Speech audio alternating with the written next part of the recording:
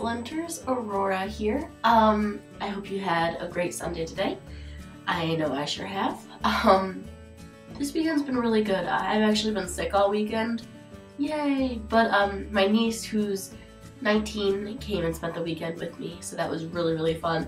We went up to my parents' house, and I don't know. Anyway, uh, this week we are talking about um, music that we like from other countries, and as I've mentioned before, I'm really into local music. Um, so I really like a lot of American music, a lot of music centered around like where I live. But I do also listen to um, I listen to a couple of people from different places. Um, I love Adele. I'm sure everyone loves Adele though. She's amazing. Uh, Kate Nash. I love. These people are all going to be from Britain in the first part. So yeah, Adele. Kate Nash is one of my all-time favorites. Made of Bricks is like the best album. Um, Frank Turner is kind of like a folk singer-ish. He's really good. He actually came to DeKalb um, in like September and blew my mind.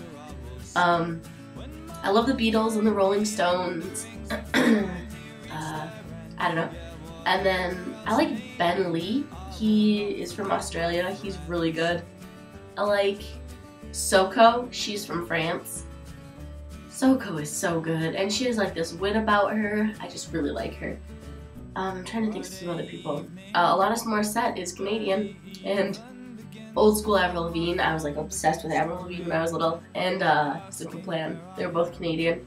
I'm trying to think of other people. Uh, yeah, it's kind of sheltered. I don't know. I'm gonna have to start listening to some some of the bands you guys mentioned because I really like. I don't know. I like new music. But anyway, uh, I hope you guys have a good weekend. Had a good weekend, and I will see you next week.